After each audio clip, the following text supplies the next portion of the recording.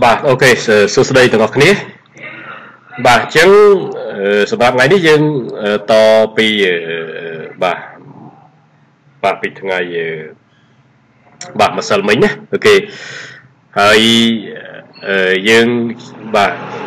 តមេរៀនទី1របស់យើងគឺ routing concept បាទហើយយើងចូលមកដល់ចំណុច1.2បាទ routing decision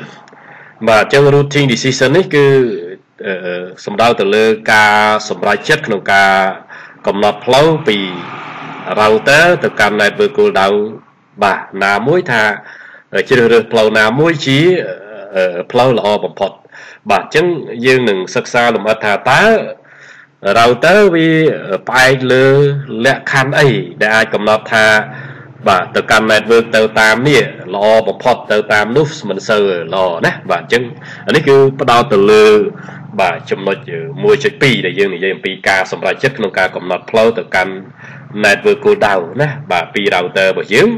ថាទៅតាមណាមួយដែលជាផ្លូវល្អបំផុតហើយផ្លូវល្អបំផុតគឺជាផ្លូវដែលអាចបញ្ជូនទិន្នន័យទៅបានលឿនបំផុតណាអូខេវាចំណេញពេលវេលាអូខេតោះឥឡូវយើងចូលទៅមើលបាទការលម្អិតបាទទាំងអស់គ្នាណាបាទអញ្ចឹង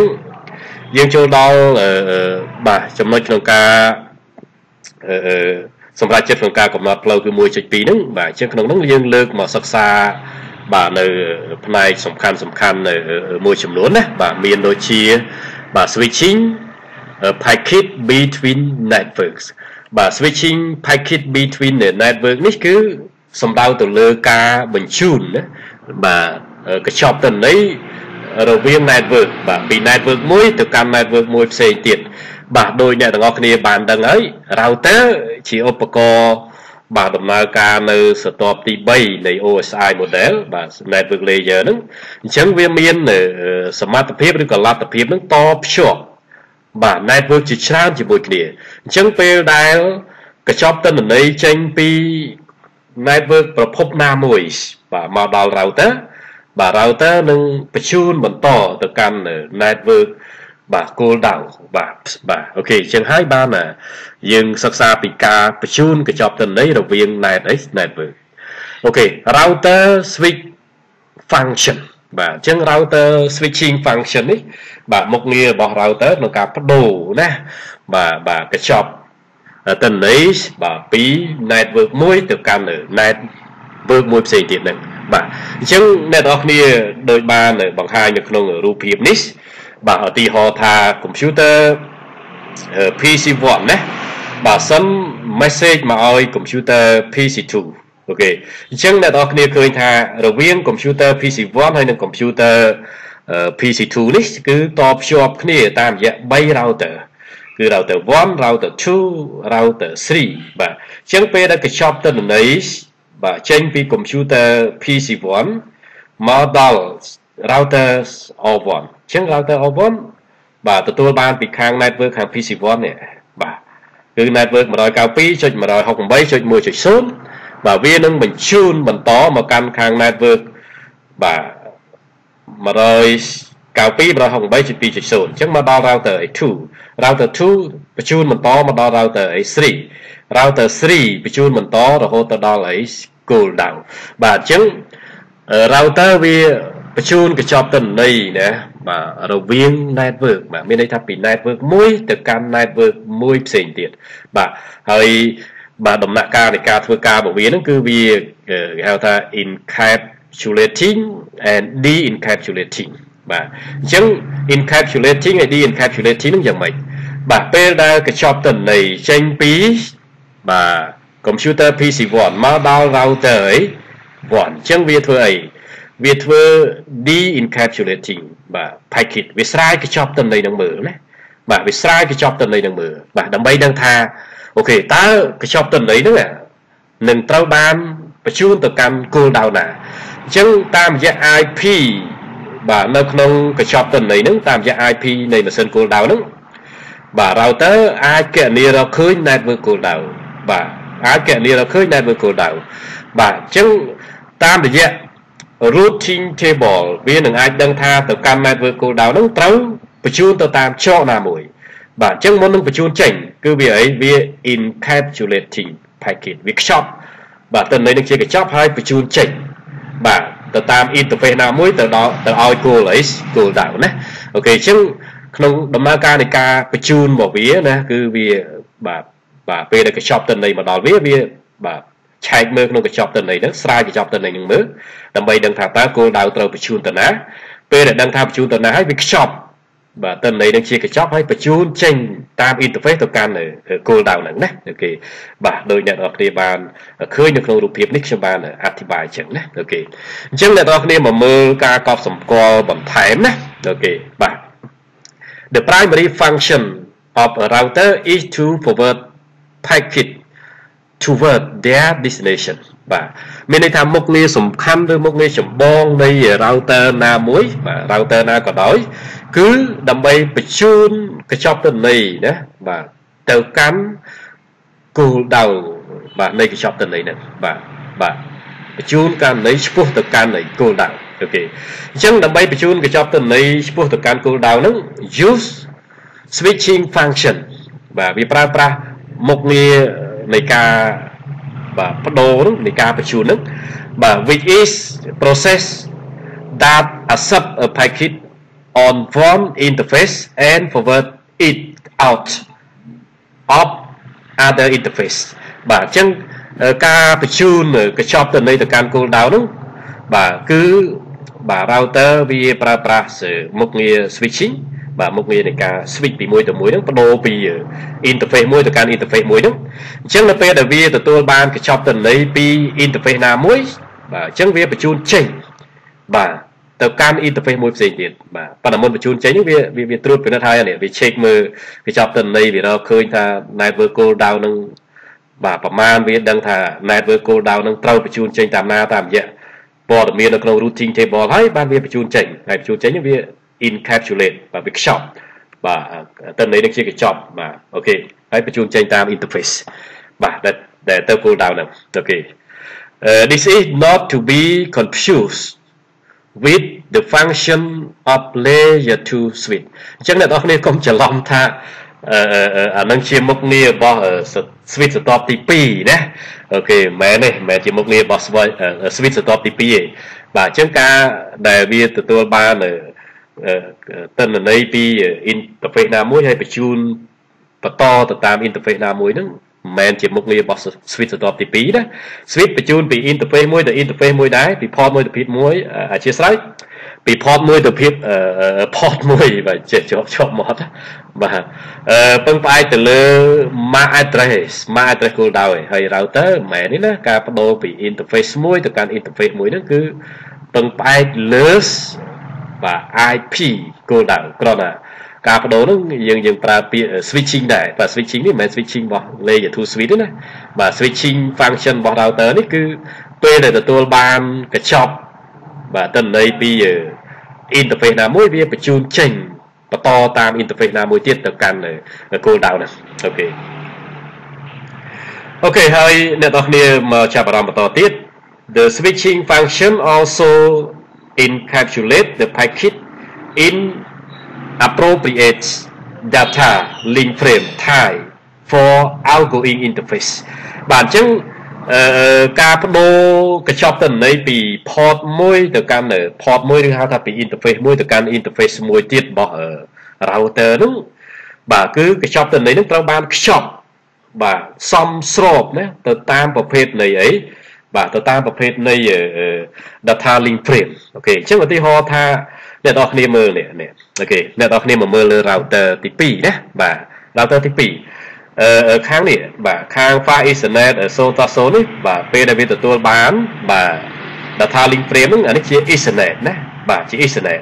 បាទអញ្ចឹងវានឹងខ្ចប់មកឲ្យសមស្របឲ្យត្រូវគ្នាពេលដែលចេញមកខាង serial អានេះខាង WAN ណាបាទអញ្ចឹងវានឹងខ្ចប់ បាទ frame តម្រង់ខាង line ហើយខាង WAN ហ្នឹងឲ្យឲ្យបាទឲ្យសមស្របគ្នាទើប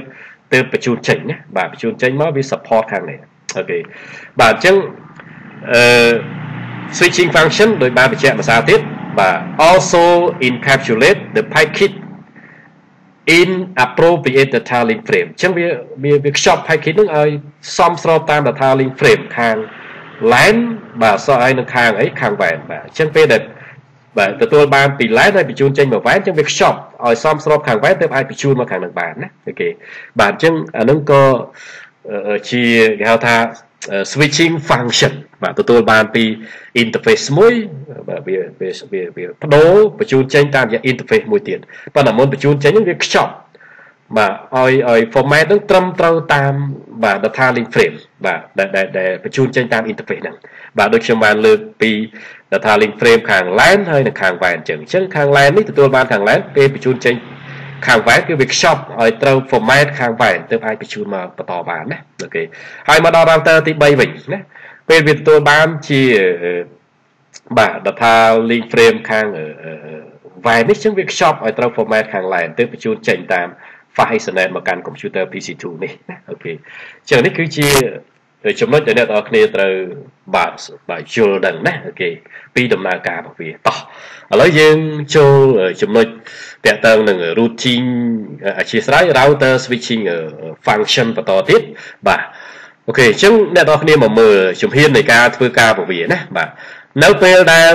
router ទទួលបានកញ្ចប់ទិន្នន័យបាទពី network ណាមួយឧទាហរណ៍ router 1ទទួលបានកញ្ចប់ទិន្នន័យពី network បាទខាង PC1 នេះគឺ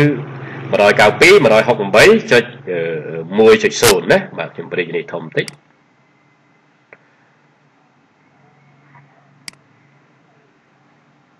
បាទអូខេ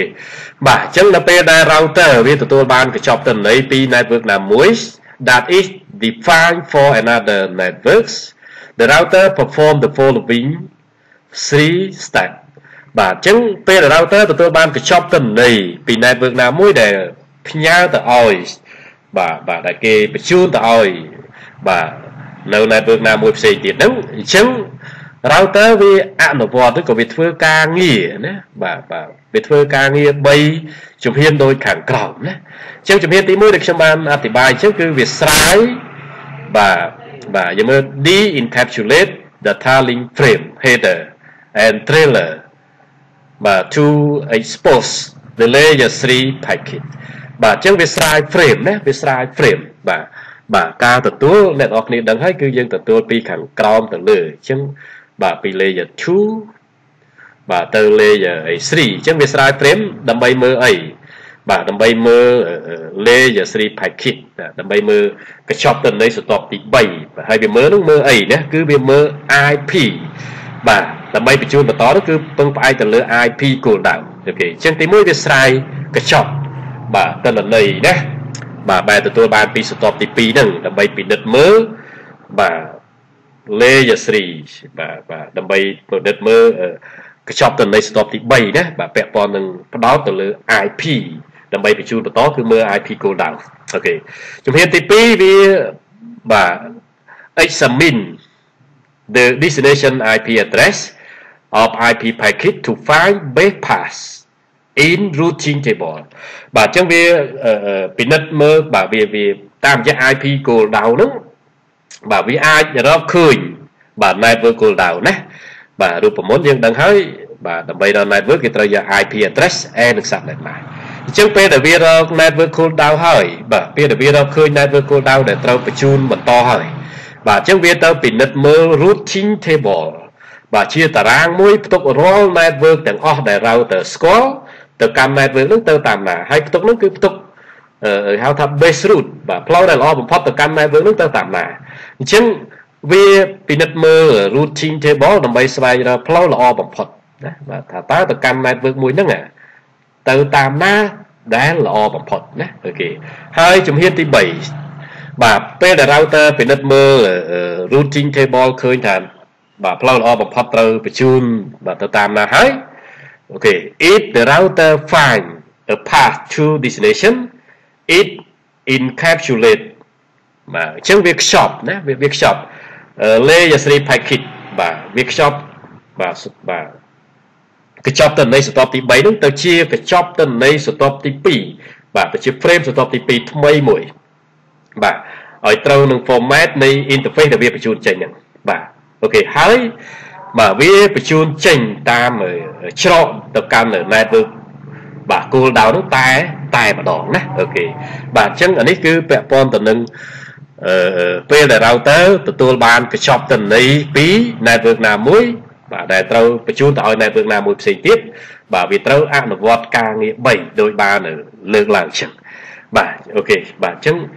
អឺបាទរបៀបបាទនៃការបា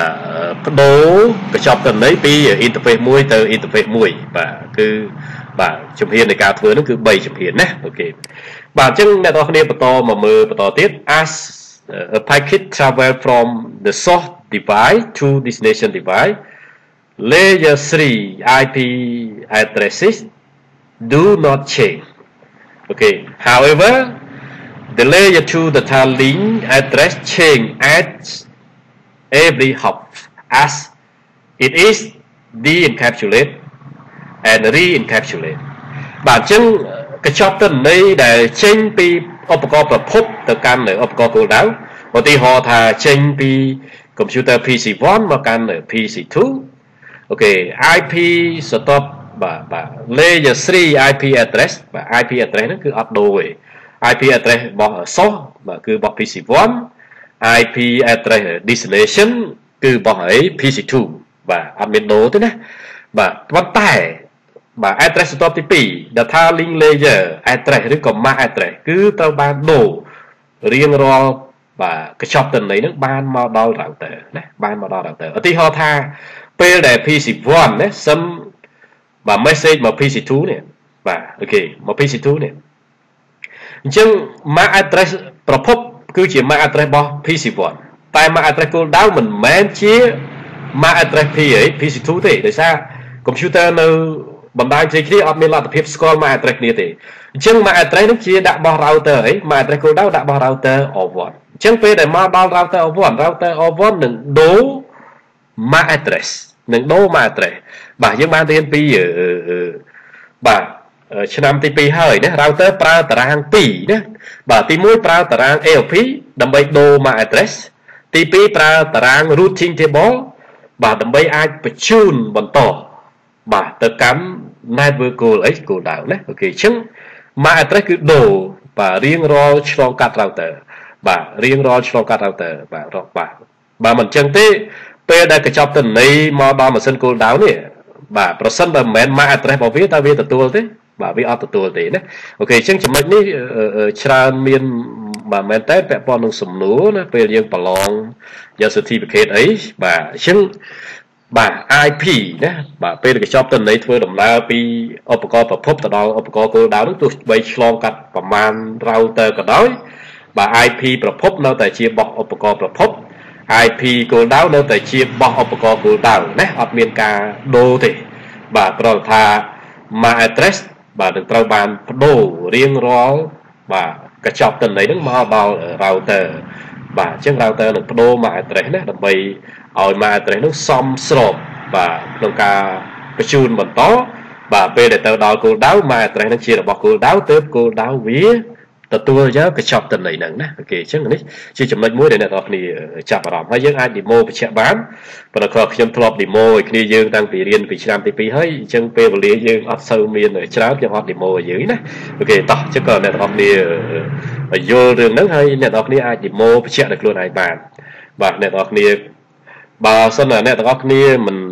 ពិបាកក្នុងការធ្វើ router 3 4អញ្ចឹងដោយសារយើងអត់តបានរៀនពី routing protocol អ្នកនរគ្នាតតែ2មក PC1 ហើយ PC2 ហ្នឹងតភ្ជាប់តាម router ទី1មកហើយ config interface ទាំងពីរដាក់ IP ដាក់អីត្រឹមត្រូវមកហើយបាទអ្នកនរគ្នា test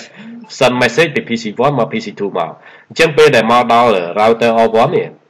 បាទអ្នកនរគ្នានឹងឃើញថា MAC address ទាំង source ទាំង destination ហ្នឹងគឺត្រូវបានអីបាទត្រូវបានប្តូរណា OK ដោយ router អូខេតោះឥឡូវយើងមើលបន្តទៀតណា OK បាទយើងចូលដល់ចំណុចមួយទៀតបាទពាក់ព័ន្ធនឹង path determination បាទ path determination នឹងទាក់ទងទៅនឹងការគណនារកផ្លូវបាទដែលល្អបំមេសបាទដែលល្អបំផុតទៅកាន់នៅគោលដៅនឹង បាទ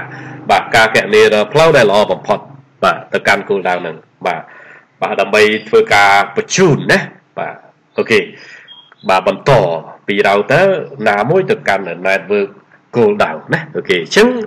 អ្នកនរគ្នាមកមើល routing decision បាទដូចតែខ្ញុំបានលើកឡើងខ្លះខ្លះមុននឹងហើយណា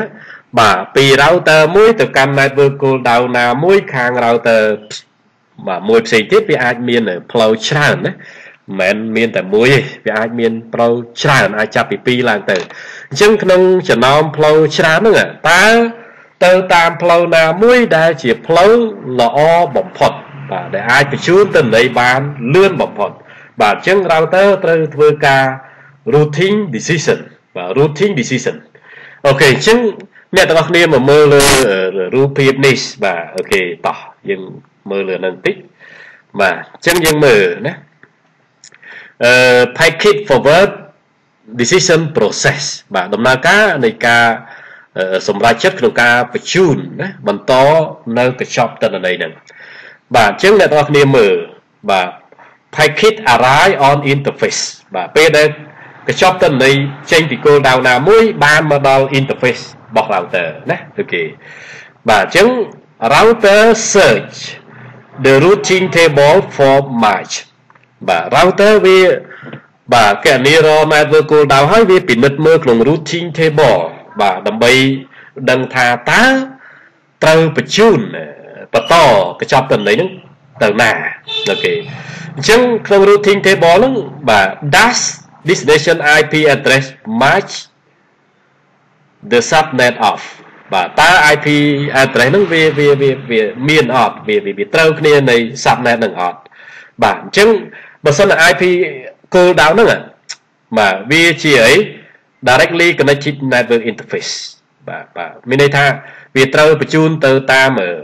interface ដែលតភ្ជាប់ router ដោយផ្ទាល់បាទបើសិនជា yes បាទតើត្រូវបញ្ជូនគោលដៅនោះភ្ជាប់ជាមួយ interface ដោយផ្ទាល់អត់ yes បាទអញ្ចឹងបើ yes វា check អីវាត្រួតពិនិត្យមើលអី វាត្រួតពិនិត្យមើល ALP cache បាទដើម្បីអីបាទបាទដើម្បីអឺបដូរបាទ MAC address ឲ្យត្រឹមត្រូវតាមគោលដៅបាទពេលដែលបដូរហើយបាទវានឹងធ្វើការបញ្ជូនទៅកាន់បាទ local subnet ហ្នឹងណាបាទទៅកាន់ local subnet ហ្នឹងតែប្រសិនបើ network គោលដៅដែលត្រូវបញ្ជូនបន្តនោះមិនមែនជា network ដែល តភ្ជាប់ជាមួយនឹងអីបាទបាទ interface របស់វាដោយផ្ទាល់ទេជា remote network បាទបើសិន no វិញវាជា remote network វិញណាបាទអញ្ចឹងបើជា remote network វិញបាទ network ដែលនៅឆ្ងាយវិញបាទ OK អញ្ចឹងវាធ្វើអីណា OK យើងមើលបើសិនជា remote network yes OK encapsulate the frame and forward out of exit interface to next hop អញ្ចឹងវានឹងអីខ្ចប់ បាទ frame នឹងឲ្យសមស្របទៅនឹង interface ដែលវាត្រូវបញ្ជូនចេញហ្នឹងបាទអញ្ចឹងវានឹងបញ្ជូនចេញតាម interface ទៅឲ្យ router ណាមួយផ្សេងទៀត OK ទៅឲ្យ router ណាមួយផ្សេងទៀតបាទ OK អាហ្នឹងបើសិនជា remote network ហើយបាទមាននៅក្នុង routing table របស់វាណា OK បាទប៉ុន្តែយើងមើលបើសិន remote network no បាទ OK no បាទអឺ is there a gateway of last resort available បាទអញ្ចឹងបើសិន remote network នោះវាសួរថាតើបាទជា last បាទអឺអឺគេហៅថា gateway of last resort available បាទតើ gateway នៃ last resort មានអត់បាទបើសិន yes បាទ yes បើសិនណា network ហ្នឹងជា remote network ហ្នឹងហើយបាទវាអត់ស្គាល់ទេប៉ុន្តែគេមានកំណត់ថា ទៅកាន់អត់ស្គាល់ហ្នឹងបាទ gateway of last resort ហ្នឹងទៅកាន់អត់ស្គាល់ទៅតាមណាមួយ បាទទៅតាម interface ណាមួយ បាទអញ្ចឹងវានឹងអី encap បាទ isolate the frame okay and forward out of the exit interface to next hop អញ្ចឹងវានឹងបញ្ជូនបាទទៅកាន់អឺច្រកចេញបាទទៅកាន់ router បន្ទាប់ បាទប៉ុន្តែប្រសិនបើ remote network ហ្នឹងអត់មាននៅក្នុង routing table របស់វាហើយអត់មានប្រាប់ថាទៅកាន់ remote network ដែលវាអត់ស្គាល់ហ្នឹងទៅតាមណាអត់មាន gateway of last resort ទេអញ្ចឹងវាធ្វើម៉េចអូខេបើសិន remote network ហ្នឹងវាអត់ស្គាល់ហើយអត់មានប្រាប់ថាទៅទៅកាន់ remote network អត់ស្គាល់ហ្នឹងទៅតាមណាបាទអត់មានប្រាប់ទេអញ្ចឹងវាធ្វើម៉េចអ្នកនរគ្នាឃើញបើសិន no yes ទៅណាបាទ គឺវានឹងបោះនឹងចោលណាទៅក្នុងធុងអីធុងសម្រាមអូខេបាទអញ្ចឹងអឺបើសិនបើ network cool down ហ្នឹងបាទខ្ញុំបញ្ជាក់ភាសាទៀតណាបាទតភ្ជាប់ដោយផ្ទាល់តាមរយៈ interface របស់ router បាទអញ្ចឹងវាមកពិនិត្យមើល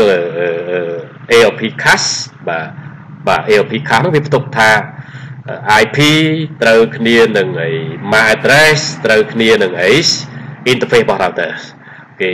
បាទអញ្ចឹងវាពិនិត្យមើលហ្នឹងហើយវាបដូរ MAC address អីត្រឹមត្រូវហើយបាទអញ្ចឹងវា forward ទៅកាន់បាទ local subnet ហ្នឹងតែម្ដងបើសិនបើ network cool down នោះជា remote network បាទជា remote network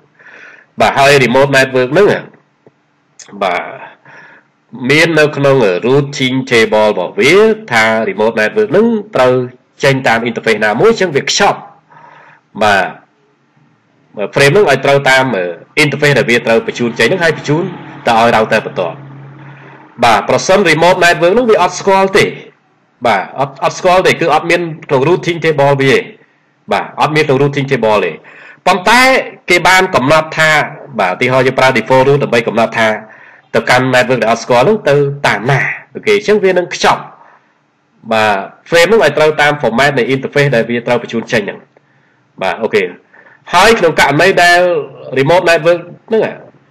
បាទអត់មានបានដែលវាអត់ស្គាល់នោះអត់មានបានកំណត់ថាត្រូវទៅតាមណាទេអញ្ចឹងវានឹងអីបាទវានឹងបោះចោលទៅក្នុងអីធុងសម្រាមតែម្ដងអូខេអញ្ចឹងនេះគឺពាក់ព័ន្ធនឹងការសម្រេចចិត្តក្នុងការបញ្ជូនណាបាទបាទអឺ packet forwarding decision process បាទដំណើរការបាទសម្រាប់ចិត្តក្នុងការបញ្ជូនកញ្ចប់ទៅនៃបន្តអូខេអញ្ចឹងអ្នកនរគ្នាតិចទៀតចាំខ្ញុំបង្ហាញអ្នកនរគ្នាបន្តិច អូខេបាទអញ្ចឹងយើងមើលណាអឺអ្នកនរគ្នាអាចមកមើលបន្ថែមណាដើម្បីរត់តែយល់លើអ្វីដែលខ្ញុំបានអធិប្បាយនេះណាបាទគេឲ្យបើអត់តន់អីអាច alert ជាបាទសំឡេងណាអូខេកុំឲ្យយើងស្ងាត់ឈឹងអញ្ចឹងខ្ញុំមិនដឹងថាយើងតន់តន់ណាអ្វីដែលខ្ញុំនិយាយមកអត់តន់អ្នកនរគ្នា alert បាទជាសំណួរមកគឺខ្ញុំបញ្ជាក់បន្ថែមណាកុំឲ្យនិយាយទៅយល់តែខ្ញុំគេបាទ យើងអត់យល់ណាខ្ញុំអត់ចង់ឲ្យខ្ញុំយល់ទេខ្ញុំចង់ឲ្យយើងយល់ណាអ្វីដែលខ្ញុំបរៀននេះចង់ចែកទៅឲ្យយើងណាអូខេតោះអញ្ចឹងអត់យល់ឡើយណាកុំស្ទាក់ស្ទើរណា alert បាទសំឡេងមកកុំសរសេរ message ខ្ញុំអត់បានមើល message គ្នាយើងទេខ្ញុំ focus ទៅលើ slide នេះអញ្ចឹងបើអ្នកនរគ្នា alert ជាសំឡេងមកខ្ញុំលឺណាអូខេតោះអញ្ចឹងអ្នកនរគ្នាមកមើលណា primary function of a router is to determine base path to send packet មុខងារឬក៏តួនាទីចម្បងនៃ router ណាមួយណាក៏ដោយ គឺដើម្បីកំណត់ឬក៏គណនាផ្លូវល្អបំផុតបាទសម្រាប់បញ្ជូនកញ្ចប់តន័យផ្សេងៗហ្នឹងណាអូខេ routing table search result in one of three path determination បាទអញ្ចឹងនៅក្នុង routing table បាទតារាងកំណត់ផ្លូវឬថាជាផែនទីនាំផ្លូវណា OK បាទអ្នកទាំងអស់គ្នាអាចអាចអាចថាជាផែនទីដោយសារដើម្បីបញ្ជូនកញ្ចប់ទិន្នន័យទៅកាន់ network ផ្សេងផ្សេង router តែងតែប្រើ routing table បន្ទាប់ពីដល់ឃើញ network go down ហ្នឹងណាអូខេអញ្ចឹង routing table នេះវាវាវាវា search រកបាទបាទស្វែងរកលទ្ធផលបាទ of one in one of three path បាទ determination បាទអញ្ចឹងលទ្ធផលមួយក្នុងចំណោម 3ក្នុងការកំណត់ផ្លូវល្អបំផុតហ្នឹងណាបាទអញ្ចឹងទី1គឺឯ directly connected networks បាទមានន័យថា network ដែលតភ្ជាប់មួយ router ដោយផ្ទាល់ឧទាហរណ៍បាទអឺ network LAN ហើយ WAN នេះបាទនឹងតភ្ជាប់ជាមួយ router ដោយផ្ទាល់ណាបាទអូខេបាទ router 1ដោយផ្ទាល់អញ្ចឹងបើសិនតែយើង ping ពី PC1 មក IP នេះមក IP នៃ serial 0/0/0របស់ router 1នេះបាទអញ្ចឹងអានេះគឺ network 193.10.10ចុច0នេះគឺ directly connected network តភ្ជាប់ដោយផ្ទាល់មួយ router 1តាម serial 0.0.0ណាអូខេបាទអញ្ចឹង directly connected network its destination IP address belong to a network that is directly connected to the router the packet is forward out of that interface បាទអញ្ចឹងបើសិនបើ network បាទ goal down ហ្នឹងតភ្ជាប់ដោយផ្ទាល់ជាមួយនឹង router អញ្ចឹង router វានឹងបញ្ជូនចេញតាមរយៈ interface ហ្នឹងតែម្ដងឧទាហរណ៍ថាគោលដៅគឺត្រូវមកឲ្យ network ចុច10បាទ192អធិស្ឋាន100បាទប្រភពគឺ network 192 168.10.0ហើយ cool down network 193.10.10.0អញ្ចឹងពេលដែលកញ្ចប់ទិន្នន័យនឹងចេញមកដល់ router បាទ router រកឃើញ network cool down នឹងហើយមើល routing table បញ្ជាក់ថា network cool down នឹងតភ្ជាប់ដោយផ្ទាល់អញ្ចឹងវាបញ្ជូនចេញមកតាម interface នឹងតែម្ដងគឺតាម serial 0/0/0ណា OK បាទហើយយើងមើល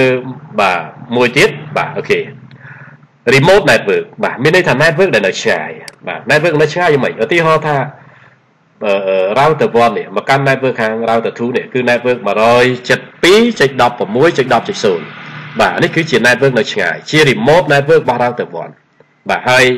router 2វិញ network 10.168អធិស្ឋានមិន10ទេ192.168.10.0នេះបាទជា network នៅឆ្ងាយពី router 2បាទជា remote network របស់ router 2ណាគេបាទអញ្ចឹងអ្នកនរគ្នាមកមើលអឺការកំណត់ផ្លូវគេហៅថាបាទទី2បាទយើងមើលដូចគេបញ្ជាក់ភាសាទៀតណា routing table search result in one of three path បាទ determination អញ្ចឹង routing table នោះគឺវាស្វែងរកលទ្ធផលមួយក្នុងចំណោម3លទ្ធផលក្នុងការកំណត់ផ្លូវហ្នឹងណាហើយផ្លូវហ្នឹងគឺកំណត់ផ្លូវល្អបំផុតទៅកាន់ goal downs បាទអញ្ចឹងចំណុចទី2បាទបាទអូខេបាទលទ្ធផល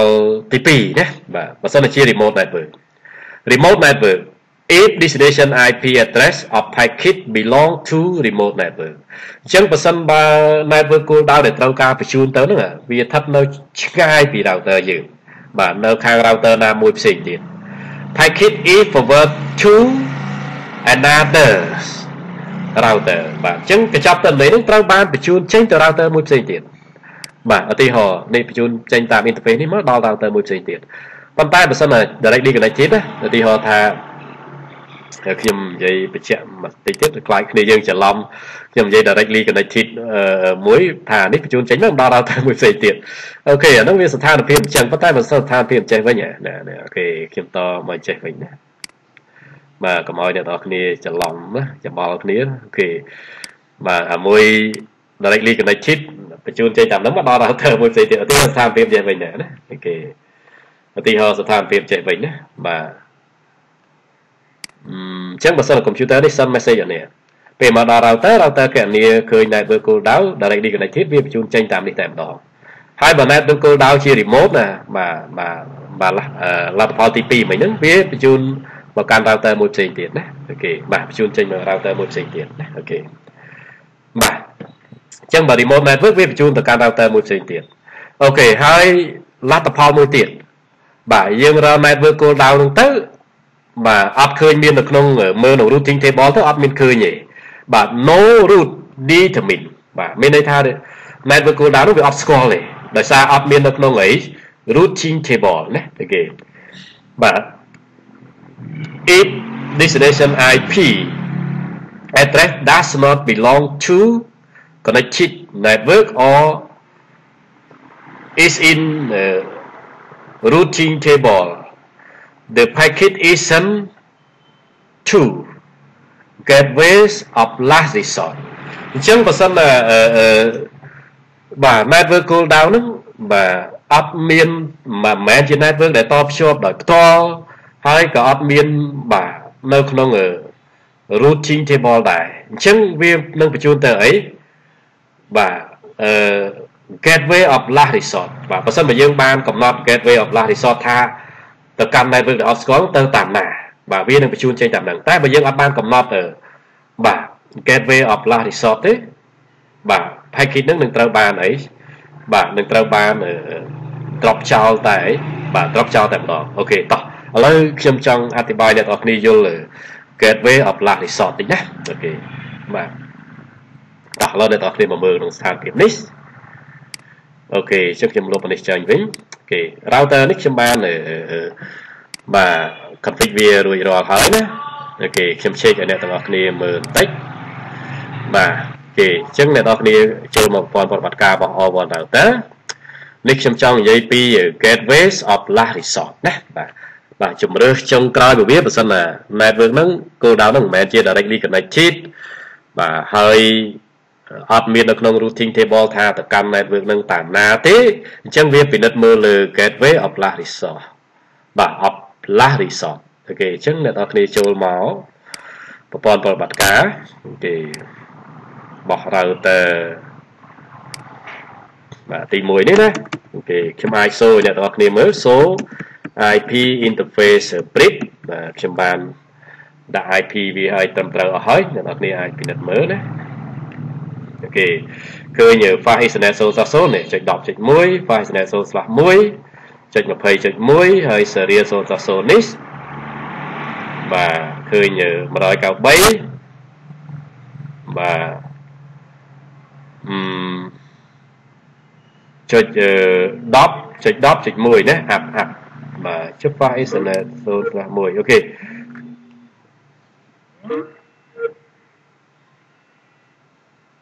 ប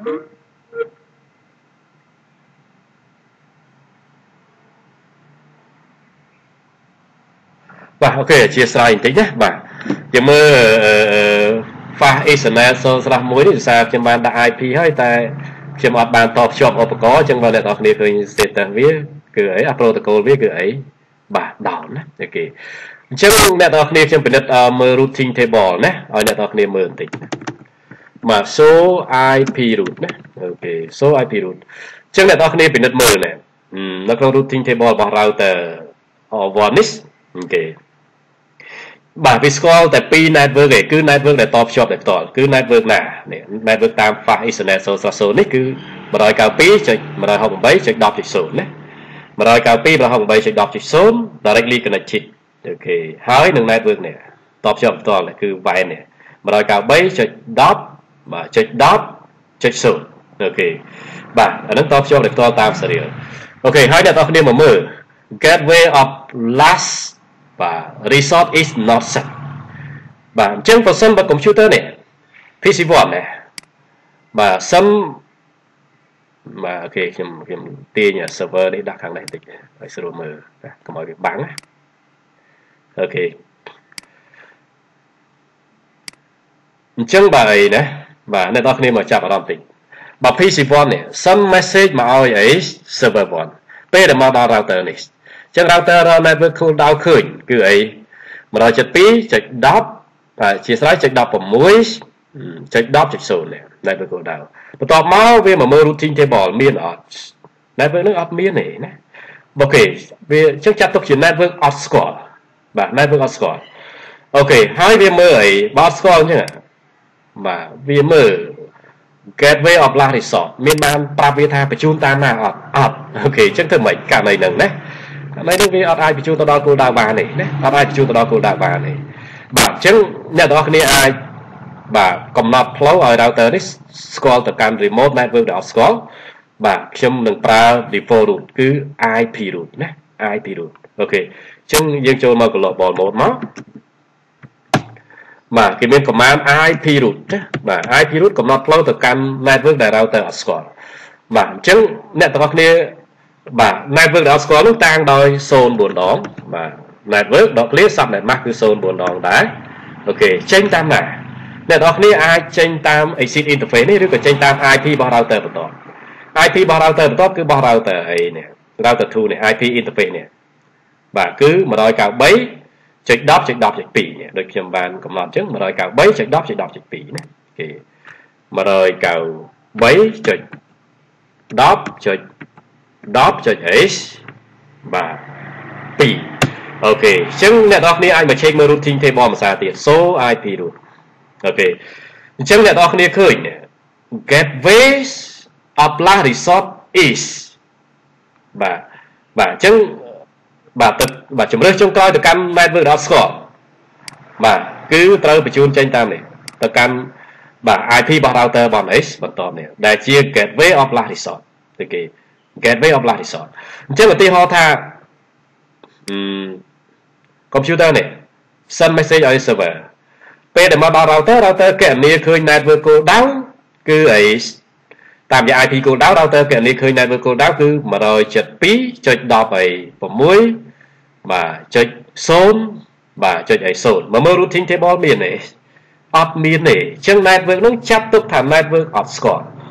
បាទនេះ04ដងនោះចាត់ទុកថា network អត់ស្គាល់ណានេះគេអញ្ចឹងតាមរយៈអី gateway of last resort គឺវានឹងបញ្ជូនចេញតាមនេះបាទតាមរយៈ IP របស់ router បន្ទាប់អ្នកនរគ្នាឃើញទៅកាន់ network អត់ស្គាល់ហ្នឹងឯផ្កាយនេះតាម default route ណាអូខេវាបាទមកតាមនឹង wire 193 បាទចុច0ចុចអធិស្ឋានចុច10ចុច10ចុច2អញ្ចឹងបញ្ជូនបាទមកតាម gateway of last resort មកគឺមកដល់ router ទី2ហើយ router ទី2ស្គាល់ network 100ហើយ72ចុច16ចុច10ចុច0នេះស្គាល់ដោយសារជា network ដែលតភ្ជាប់វាដោយអីដោយផ្ទាល់បាទអូខេអញ្ចឹងខ្ញុំចង់អធិប្បាយបន្តិចពាក់ព័ន្ធនឹង gateway of last resort ណាបាទបាទជំរឿ បើសិន remote network ហ្នឹងបាទឬ directly connected ហ្នឹងអត់ស្គាល់ទេណាបាទបាទបាទ network cool down ហ្នឹងវាអត់ស្គាល់ទេ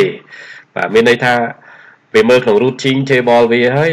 បាទអត់មាន network cool down ហ្នឹងអញ្ចឹងត្រូវតាមទៅតាមណាបាទ gateway of last resort ណាអូខេដូចបានអធិប្បាយក្នុងមេរៀនយើងនេះបាទ no route determine ណា no route determine បើអត់សិនអត់មានផ្លូវដែលត្រូវកំណត់សម្គាល់បានថាទៅតាមណាទេ if destination IP address does not belong អញ្ចឹងបើសិន IP cool down ហ្នឹងមិនមែនជាបាទតបភ្ជាប់ដោយផ្ទាល់ណាបាទឬក៏អត់មាននៅក្នុង routing table បាទ is in routing table បាទនេះគេបាទ the packet isn't បាទជាកញ្ចប់ទៅត្រូវបញ្ជូនទៅអី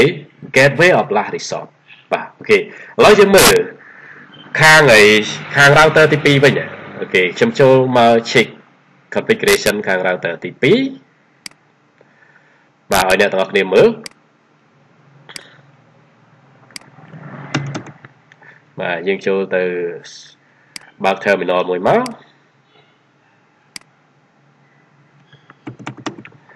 enable បាទអូខេអ្នកនរគ្នាអាចមើល IP ថាយើងបានដាក់ត្រឹមត្រូវហើយនៅខ្ញុំបានដាក់ហើយតែខ្ញុំសូមអ្នកនរគ្នាមើលភាសាទៀតណា so IP interface brief អ្នកនរគ្នាឃើញ fast ethernet 0/0 interface នេះខ្ញុំបានដាក់ IP ហើយនេះគេ app app serial 0.0.1យើងបានដាក់ IP ហើយ app app អូខេអញ្ចឹងវាធ្វើការហើយខ្ញុំអាច show routing table អ្នកនរគ្នាមើល so IP អី root បាទអ្នកនរគ្នាសម្លឹងមើលថា router ទី2នេះបាទវាស្គាល់តែ network តភ្ជាប់ដោយផ្ទាល់ទេគឺ172ចុច16ចុច10.0ណាបាទ172ចុច16ចុច10.0 តភ្ជាប់ដោយផ្ទាល់តាមអីបាទ file ethernet 0/0អូខេ193ចុច10ចុច10.0តភ្ជាប់ដោយផ្ទាល់តាម serial នេះ0.0/1នេះ gateway of last resort is not set បាទអញ្ចឹងបើសិនណា server នេះ send message ឲ្យ computer នេះអូខេពេលដែលមកដល់ router router គណនា network cool down ទៅឃើញ192.168.10.0មើលក្នុង routing table អត់មានអូខេ gateway of last resort អត់បានបាទ set អត់បានបង្កើតអញ្ចឹង message ហ្នឹងគឺត្រូវបាទបាទ drop ចោលតែម្ដងអត់អាចបញ្ជូនទៅដល់ goal អី goal down ទេបាទអញ្ចឹងដើម្បីអាចទៅដល់ goal down អ្នកទាំងអស់គ្នាអាចប្រើ routing protocol ណាមួយអូខេឧទាហរណ៍យើងប្រើ default route អូខេអញ្ចឹងអ្នកនរគ្នាចាប់ផ្ដើមកំណត់ទៅ gateways of last resort នេះមកដោយចូលទៅ global mode បាទ IP route ណាបាទទៅកាន់ remote network អត់ស្គាល់គឺខាង router ទី1នេះជាង remote network ទាំងអស់តាំងដោយ04ដងអូខេ subnet mask តាំងដោយ04ដងដែរចេញតាមណាអាចតាមច្រកនេះ interface បាទ exit interface ឬក៏ IP របស់ router បន្ទាប់ IP របស់ router បន្ទាប់គឺ IP របស់ serial 0/0/0នៃ router 1ដែលតភ្ជាប់មកកាន់បាទ router 2យើងនេះអញ្ចឹងគឺ193.10.10.1ណាបាទ193 3.10.10.1អញ្ចឹងអ្នកនរគ្នាអាចពិនិត្យមើល routing table ភាសាទៀតរបស់ router ទី2 so IP route បាទអញ្ចឹងអ្នកនរគ្នាឃើញ gateway of last resort is set បាទអញ្ចឹងទៅកាន់ network ដែលអត់ស្គាល់ត្រូវបញ្ជូនចេញទៅអី default gateway ដែលជា IP របស់ router បន្ទាប់បាទអញ្ចឹងធ្វើម៉េចបញ្ជូនឲ្យដល់បាទ IP របស់ router បន្ទាប់មកដល់នឹងមកណាអូខេបាទមកដល់អធិស្ឋានយើងចូលលើ router ទី2ណាបញ្ជូនមកដល់នេះមកណាអូខេ បាទមកដល់នេះមកអូខេអញ្ចឹងមកដល់ router ទី1 router ទី1វាស្គាល់ឯសារ network នេះតភ្ជាប់វាដោយអីដោយផ្ទាល់បាទអញ្ចឹងរវាងអីបាទរវាងអឺ PC1 ហើយនឹង server 1នេះអាចតាក់ទងគ្នាបាទ server 1នេះមាន website មួយអញ្ចឹងយើងអាច access បានណាអ្នកនរគ្នាអាច access បានមកបាទ browser មក access តាម IP ណាបាទគឺ192អធិស្ឋាន172ណាបាទ 172.16នេះចុចអី10.2ណាបាទចុច10.2អូខេអ្នកនរគ្នាឃើញ access ដល់ website ហ្នឹងណាអូខេបាទហើយអ្នកនរគ្នាអាច ping មើលអ្នកនរគ្នា ping បាទបាទ172អធិស្ឋានណា170 172ចុច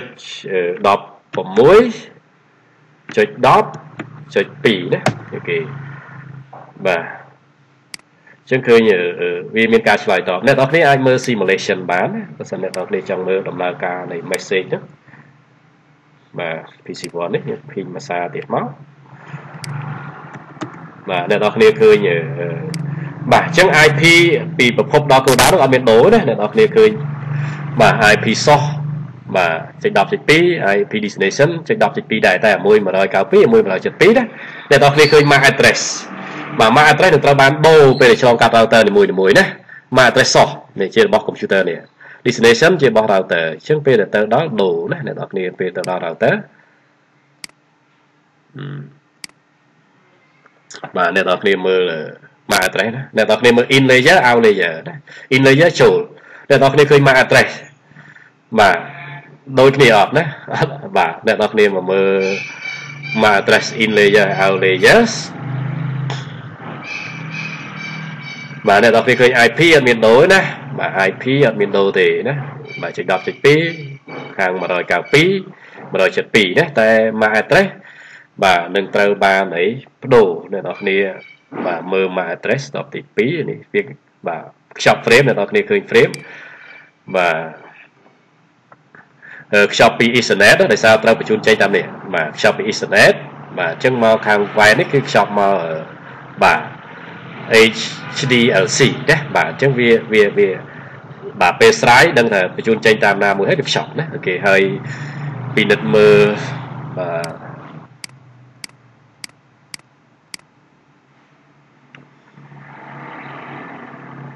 inbound outbound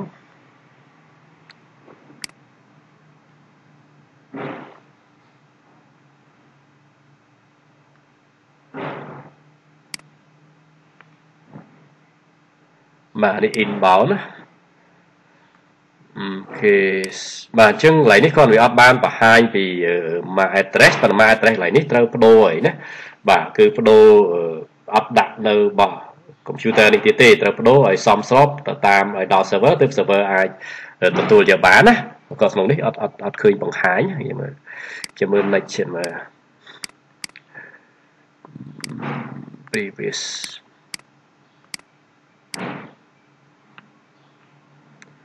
បាទនេះ MAC address source នេះ MAC address destination បាទ destination ជារបស់ router ប៉ុន្តែពេលចេញមកនេះត្រូវបដូរណាពេលបាទពេលដែលខ្ចប់មកមកម្ខាងទៀតត្រូវបដូរ MAC address ហើយណាអូខេអញ្ចឹង MAC address តែតែបដូរពេលដែលឆ្លងកាត់ router ហើយ router ក៏ក្នុងនេះយើងឃើញ destination the destination the frame destination MAC address match receive MAC address the broadcast address multicast address device de-encapsulate បាទ មកស្រាយហ្នឹងគេបន្តមក device look up destination IP វាមើល IP គោលដៅក្នុង routing table routing table find routing entry to destination បាទអញ្ចឹងទៅរកគោលដៅអូខេបន្តមកវាខ្ចប់ហើយបញ្ជូនចេញណាបាទខ្ចប់ frame មកនេះអូខេហើយបញ្ជូនចេញតាម serial នេះណាអូខេអូខេអញ្ចឹង MAC address ត្រូវដូរណាក៏កន្លែងនេះវាអត់អត់បានបង្ហាញប៉ុន្តែទីពិតត្រូវដូរ MAC address ណាអូខេត្រូវដូរ MAC address ខ្ញុំពិនិត្យមើលក្នុង outbound detail នេះបន្តិចមើលលោកឃើញណា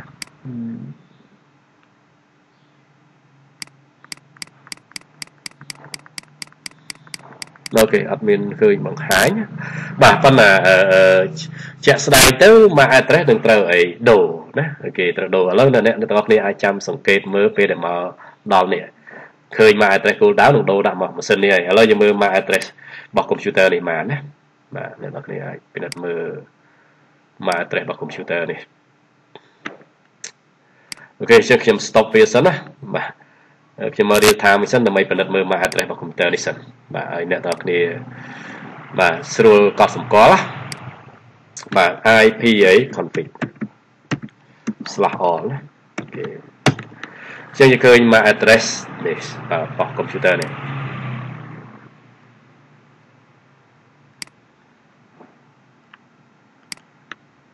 បាទខ្ញុំ copy វាមកសិនណា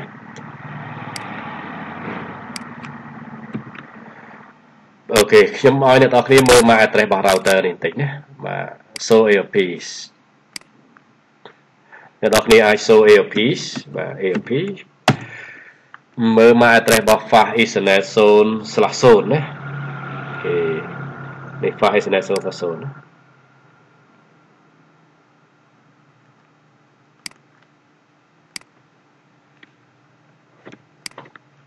បាទនេះមក address របស់ interface នេះ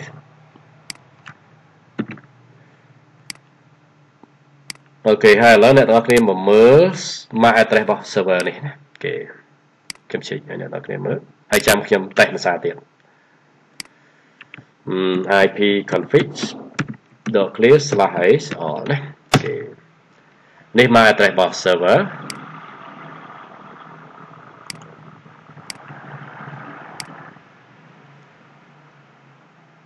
គេអញ្ចឹងខ្ញុំផាសដាក់ខាងក្រោមនេះអូខេអញ្ចឹងយើងអាចតាមបានបន្តិចណាអូខេចង់បញ្ជាក់ថា MAC address ដូរពេលឆ្លងកាត់ router អញ្ចឹងបើយើង ping ទៅនេះទៅណាមិញយើងបាន ping ហើយអធិស្ឋានចង់ ping ឯណានេះឃើញមានការឆ្លើយតបណាឥឡូវយើងមើល simulation ណាអ្នកនរគ្នាមើល simulation បាទយើង ping ភាសាទៀតណា អូខេយើងភីងភាសាទៀតអញ្ចឹងអ្នកនរគ្នាមើលនេះបាទអ្នកទាំងអស់គ្នាមកមើលចេញពីកុំព្យូទ័រនេះ IPs បាទ source គឺរបស់កុំព្យូទ័រនេះ192 168.10.2នេះគេ destination របស់ server 192 168.10.2 MAC address បាទ source ជារបស់កុំព្យូទ័រអ្នកនរគ្នាចាប់អារម្មណ៍57ចុងក្រោយនេះគេហើយ destination មិនមែនជារបស់ destination ទេគឺរបស់ router នេះ បាទ2101អ្នកនរគ្នាឃើញនេះ2101ណានេះគេបាទអញ្ចឹងហើយបាន MAC address ត្រូវដូរបើសិននៅទុក destination ប៉ុណ្ណឹងពេលមកដល់គោលដៅគោលដៅវាទទួលយក message ហ្នឹងឯងអត់ទេដោយសារមិនមែន MAC address របស់អីរបស់វាប៉ុន្តែ IP អត់ដូរណាគេកន្លែងនេះក៏ចង់បញ្ជាក់បន្តិចបាទអូខេអញ្ចឹងពេលដែលទៅដល់ router បាទ router បាទត្រូវបដូរ MAC address ហើយប៉ុន្តែក្នុងនេះអត់បានបង្ហាញណា បាទអ្នកនរគ្នាឃើញ IP អត់មានដូរទេណាគេអត់មានដូរទេនៅរសារដដែលអូខេបាទឥឡូវយើងមើលពេលដែលមកដល់ router ទី2នេះបាទពេលដែលមកដល់ router ទី2ណាបាទអ្នកនរគ្នាឃើញបាទអ្នកនរគ្នាឃើញបាទ MAC address ត្រូវបាន call down នេះបាទចេញពីចេញពីកុំព្យូទ័រទី1 MAC address call down គឺរបស់អីបាទ 5.0.0នៃ router ទី1គឺ2101ឥឡូវអ្នកនរគ្នាឃើញ address គោលដៅពេលដែលចេញពី router ទី2នេះត្រូវបានដូរមកដាក់អីបោះអីបាទបោះម៉ាស៊ីនគោលដៅនេះបាទ83ចុងក្រោយណា83ចុងក្រោយអញ្ចឹង MAC address គឺត្រូវបានបដូរពេលដែលឆ្លងកាត់ router នីមួយនេះអីនីមួយណាត្រូវបានបដូរតែ IP អ្នកនរគ្នាមើលមានដូរទេអត់ដូរទេណាបាទ IP នៅដដែល192 168.10.2បើសោះ172.1 16.10.2របស់ destination បាទអញ្ចឹងដូរតែអី MAC address ទេណាអូខេ IP អត់ដូរបាទអូខេអញ្ចឹងដោយសារយើងបាន config ជា default route ទៅលើ router ទាំងពីរអញ្ចឹង router ទាំងពីរស្គាល់ផ្លូវមកកាន់ remote network រៀងរៀងខ្លួនអានឹងចាប់ទុកថា network of scroll ហើយយើងបានកំណត់អី gateway of last resource គេអញ្ចឹងយើងឃើញថា process ហ្នឹងគឺអី successful ណា successful បាទ copy យកយើង successful អូខេអូខេអញ្ចឹងខ្ញុំមក real time វិញណាអូខេអញ្ចឹងបាទយើងឃើញបាទការពេញរបស់យើងគឺជោគជ័យអូខេតោះឥឡូវយើងបន្តទៀតណាអូខេបាទអញ្ចឹងអឺបាទនេះក៏ខ្ញុំចង់អธิบายអ្នកទាំងអស់គ្នាបន្តិចពីបាទ gateway of last resort បាទអូខេអញ្ចឹងអានេះជាដំណើរការនៃ បាទការសម្រេចចិត្តក្នុងការបញ្ជូនបញ្ចប់ទិន្នន័យបាទអញ្ចឹងវាធ្វើការតាមអ្វីដែលយើងបានបាទបង្ហាញអញ្ចឹងណាអូខេអញ្ចឹងខ្ញុំអត់និយាយភាសាទៀតទេតោះឥឡូវយើងតទៅចំណុចមួយផ្សេងទៀតបាទ base pass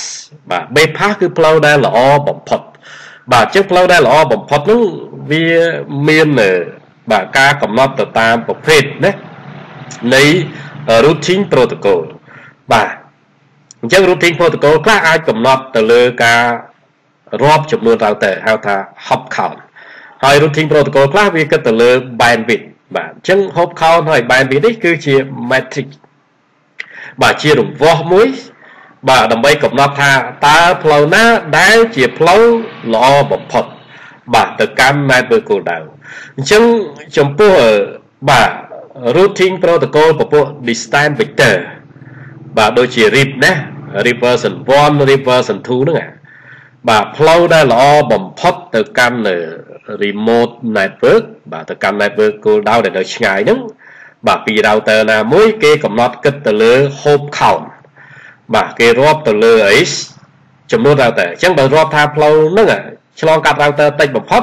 ចាត់ទុកថាផ្លូវហ្នឹងជាផ្លូវល្អបំផុតឥឡូវអ្នកនរគ្នាមើលណាពី PC1 ណាមកដល់ PC2 នេះប្រសិនបើ router ទាំង3ហ្នឹងយើងប្រើប្រាស់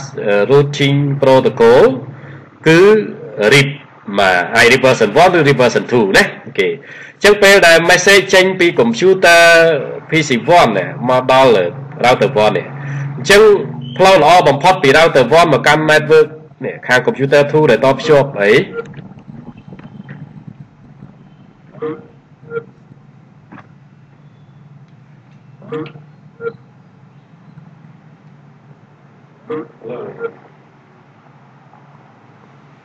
បា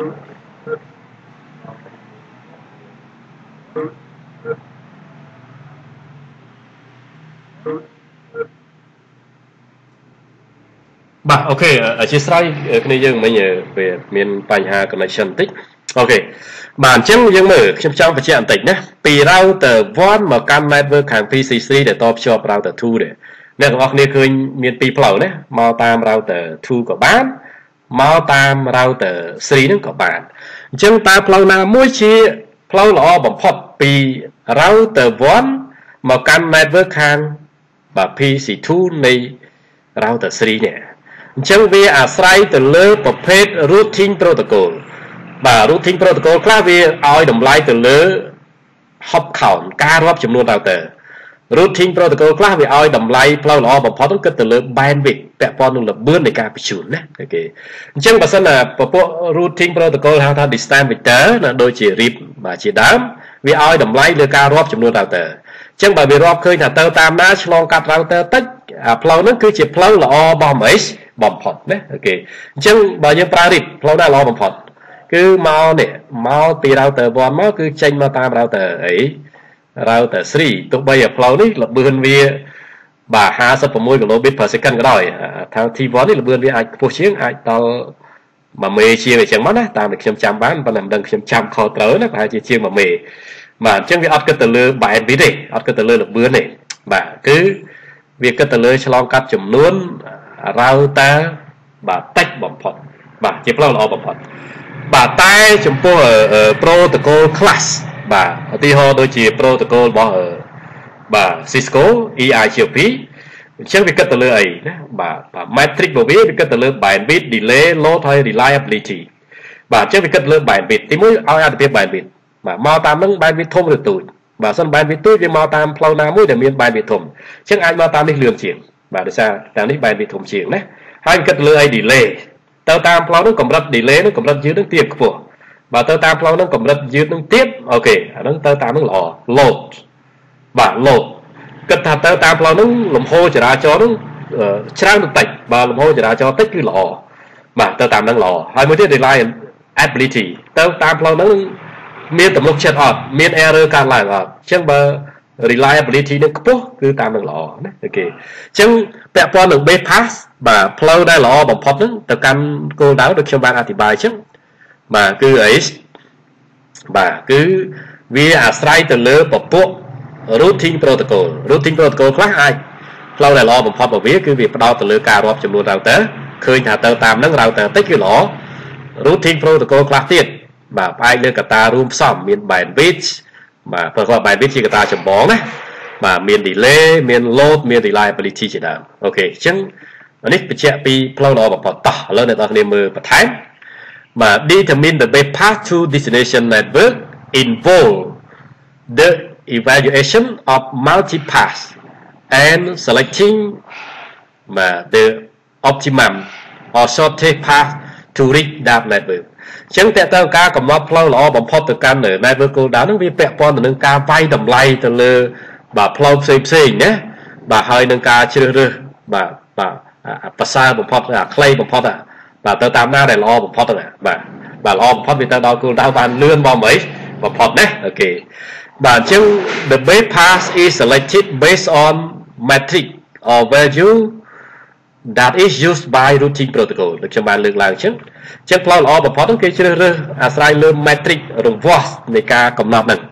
បាទឬក៏អាស្រ័យលើតម្លៃដែលត្រូវបានកំណត់ដោយ routing protocol ដោយ routing protocol distance vector ខ្ញុំ គេបានកំណត់ថាផ្លូវល្អបំផុតគឺផ្លូវណាឆ្លងកាត់ router តិចបំផុតតែអាចត្រូវ100%ទេมันអាចត្រូវ100%ទេពេលខ្លះឆ្លងកាត់ router តិចមែនតែ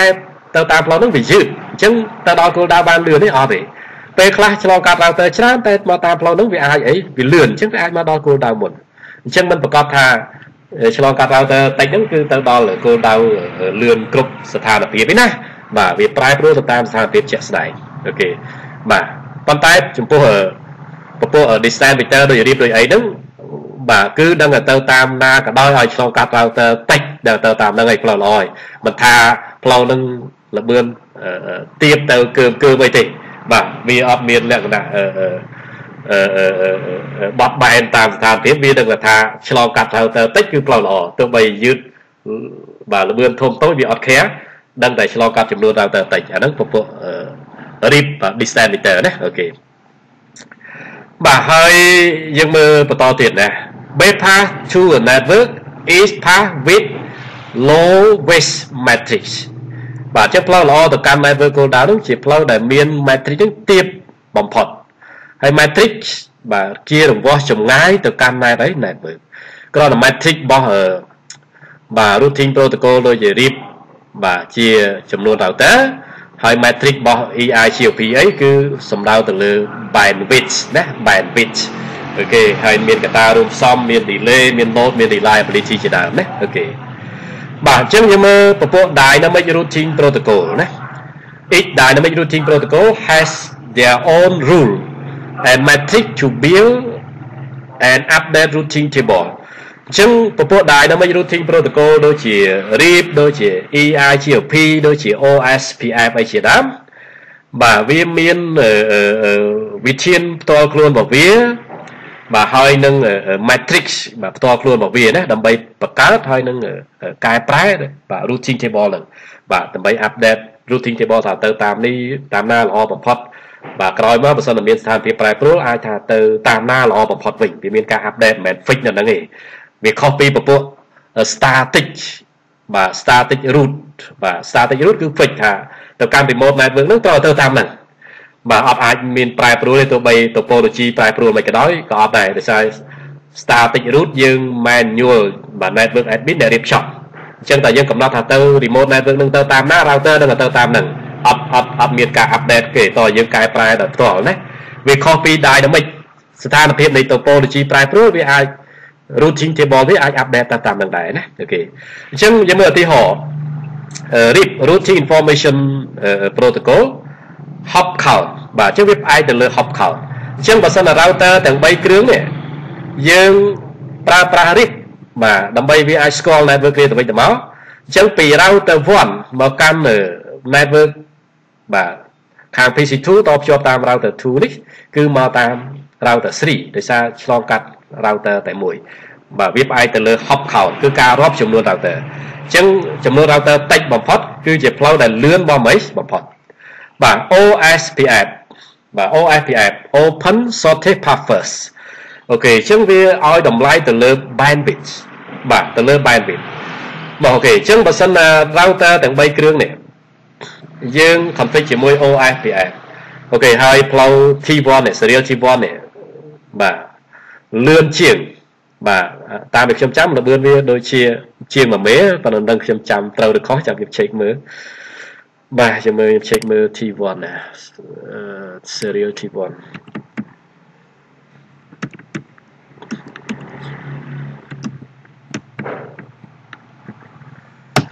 បាទពេលខ្លះយើងអត់ចាំដែរអូខេល្បឿនវាជាង1មេណាបាទល្បឿនវាជាង1មេគឺអឺ1.1 544 Mbps ណាគេអញ្ចឹងបើសិនអ្នកទាំងអស់គ្នា config ជាមួយនឹង OSPF អញ្ចឹងផ្លូវល្អបំផុតពី router 1មកកាន់ network PC2 ខាង router 3នេះគឺមកតាម H មកតាម router 2បាទទោះបីឆ្លងកាត់ router 2ក៏ដោយតែល្បឿនវាបានហើយបានលឿនដោយសារ T1 link នេះគឺល្បឿនវាខ្ពស់ជាងនេះអានេះតែ56គីឡូអានេះជាង1មេអញ្ចឹងខុសគ្នាឆ្ងាយណាបាទអូខេបាទខុសគ្នាឆ្ងាយអូខេ បាទហើយ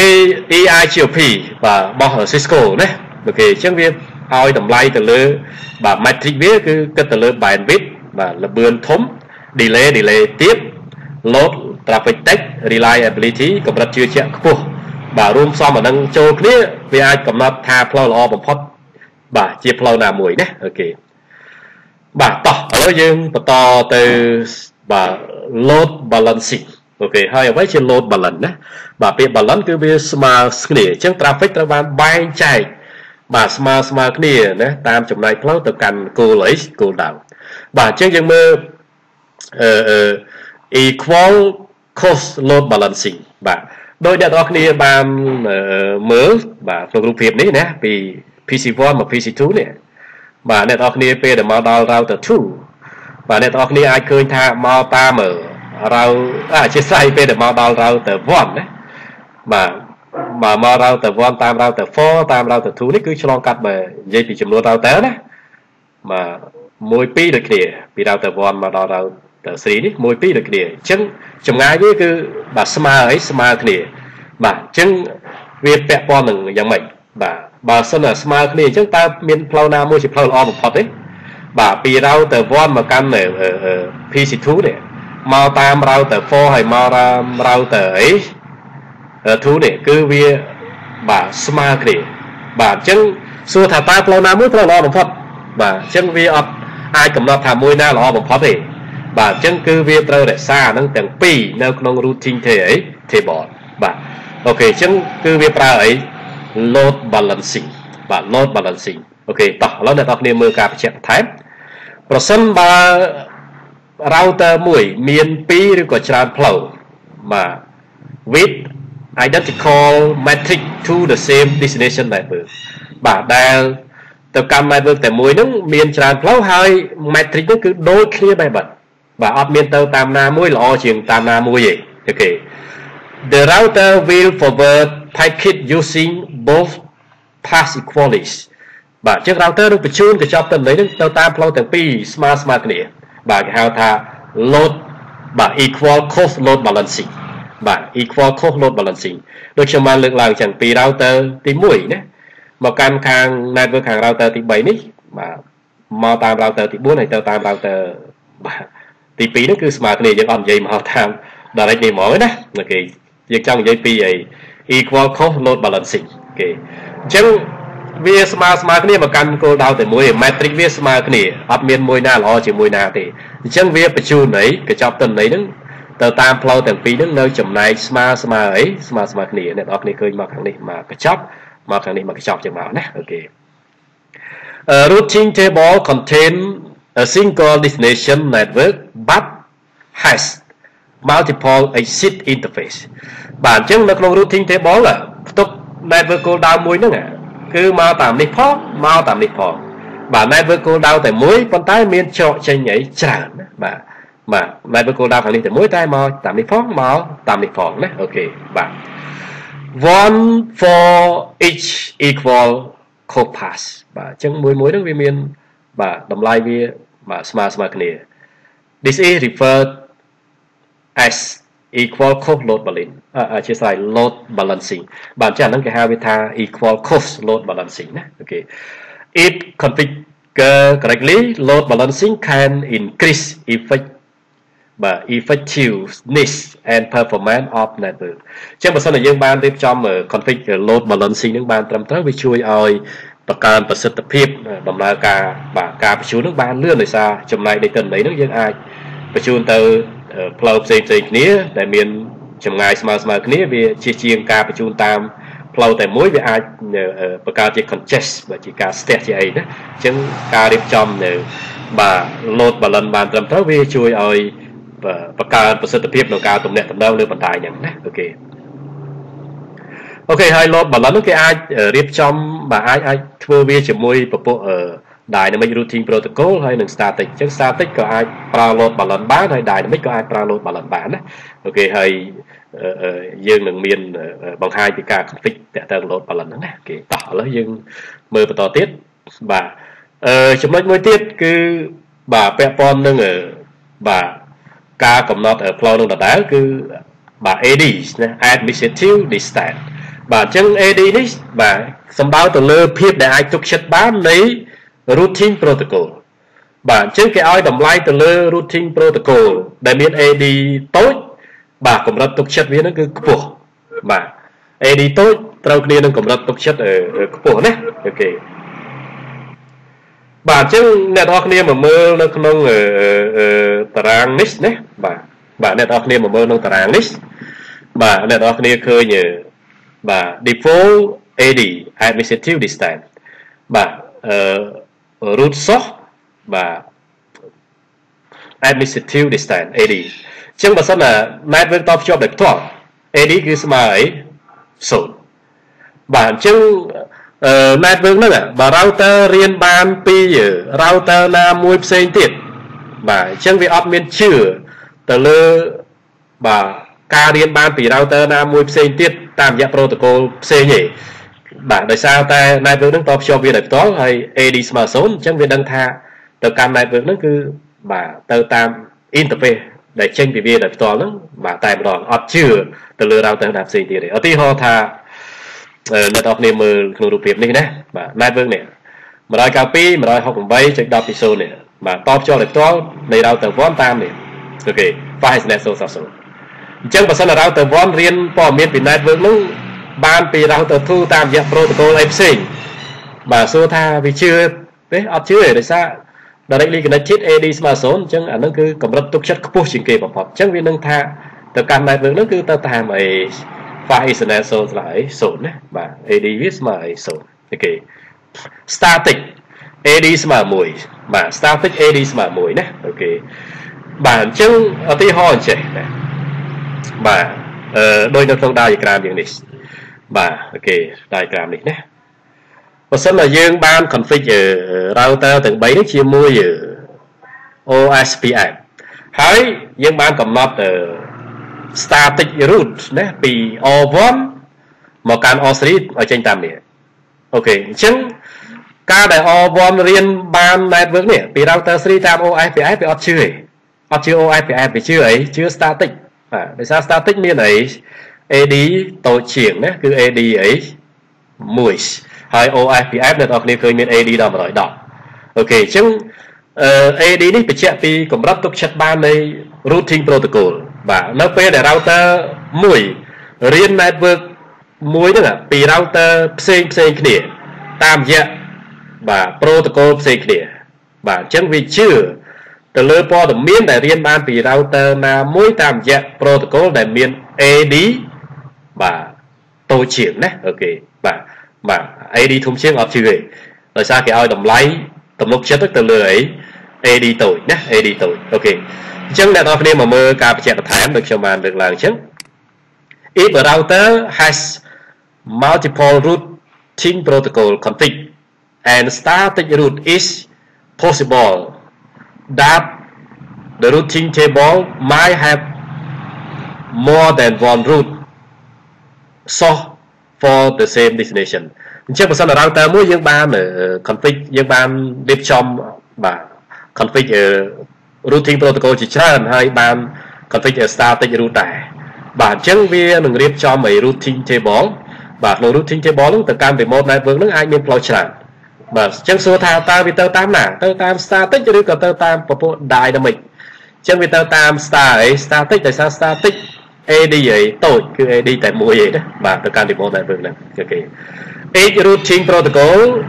might prefers different path to reach the same destination អញ្ចឹង protocol នីមួយៗបាទវាកំណត់ផ្លូវល្អបំផុតទៅកាន់គោលដៅ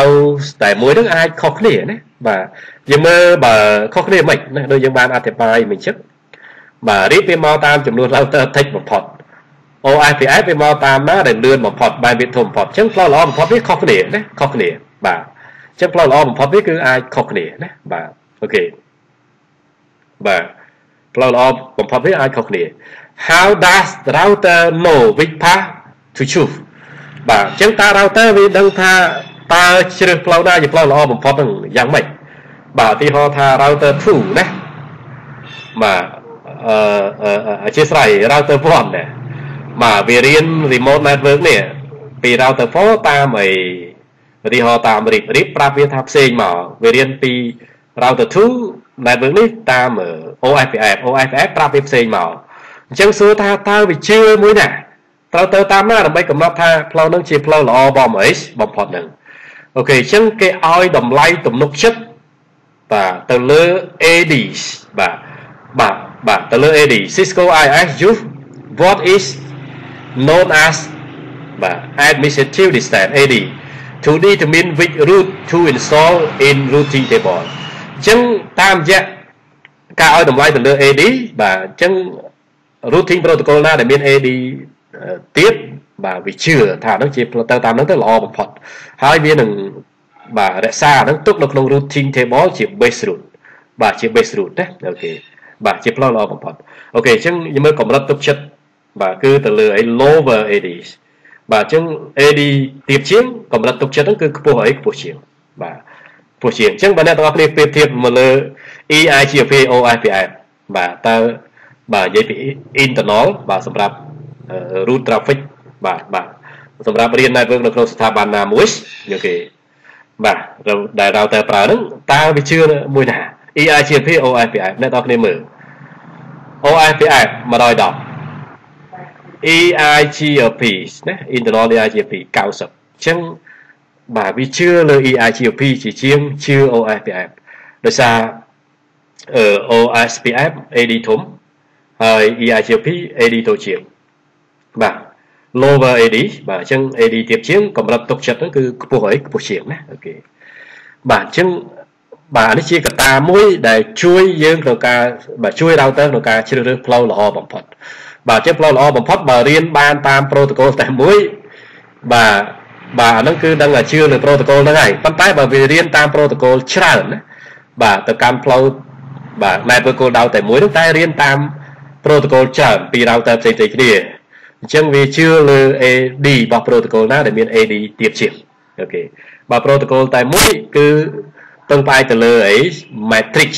បាទទៅតាមណាដែលឆ្លងកាត់ចំនួន router តិចជាងឬទៅតាមណាដែលមានល្បឿនលឿនជាងតែប្រសិនបើ remote network ហ្នឹងរៀនពី protocol ផ្សេងផ្សេងគ្នា បាទអញ្ចឹងវាជឿលើ protocol ណាដែលមាន AD បាទតូចជាងបាទអញ្ចឹងវាចាប់ទុកអានឹងជាផ្លូវល្អបំផុតហើយយកទៅរក្សាទុកក្នុង routing table ណាអូខេ បាទអូខេសូមតិចទៀតចាំយើងសម្រាប់ណាយើងចូលដល់បាទ1.3 router operation បាទការដំណើរការរបស់ router បាទអញ្ចឹងការដំណើរការរបស់ router ទី1យើងវិភាគទៅលើ routing table បាទអញ្ចឹងនៅក្នុង routing table របស់ router មានផ្ទុកអី directly connected ហើយនិង remote network directly connected គឺ network ដែលតភ្ជាប់ដោយផ្ទាល់ remote network បាទជា network បាទនៅឆ្ងាយបាទមិនតភ្ជាប់ដោយផ្ទាល់ទេជា network ខាង router ណាមួយផ្សេងទៀតអញ្ចឹងបើអ្នកទាំងអស់គ្នាពិនិត្យមើលនៅលើ router 1នេះបាទតើ routing table វាបាទ directly connect បាទ directly connected network នោះមានអីខ្លះណាមាន network 192.168.10.0មាន network 192.168.11.0ហើយនឹងមាន network